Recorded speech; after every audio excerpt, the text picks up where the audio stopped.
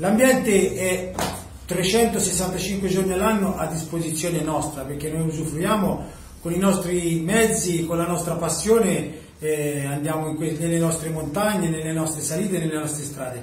Facendo questi giri ci siamo accorti che effettivamente l'ambiente aveva bisogno di un ripristino, di un ripristino necessario per, a causa di troppi rifiuti che si vedono lungo la strada. Per un giorno così 15 ciclisti castiglionesi hanno deciso di lasciare la bici in garage e muniti di guanti e sacchi hanno passato al setaccio le vie battute nelle loro uscite domenicali in gruppo. Una mattinata dedicata all'ambiente in una strada simbolo della scalata in bici, la provinciale della Foce. In circa tre ore sono stati raccolti oltre due quintali di rifiuti tra cui estintori, bombole di gas vuote e reti per letti. Noi non vogliamo essere premiati o non vogliamo passare come eroi, noi vogliamo essere l'inizio di una catena di queste iniziative che spero che tutti i cittadini di Castiglione Fiorentino possano portare avanti in piccoli gruppi, in piccoli spazi del nostro paese,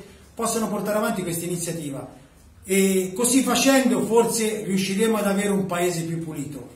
La giornata ecologica dal titolo Ripuliamo la foce è stata promossa dalla Biblioteca del Ciclista con il patrocinio del comune di Castiglion Fiorentino ed arriva a 15 giorni dall'installazione dei cartelli che invitano gli automobilisti a circolare con prudenza e a mantenere la distanza consigliata di almeno un metro e mezzo dal ciclista.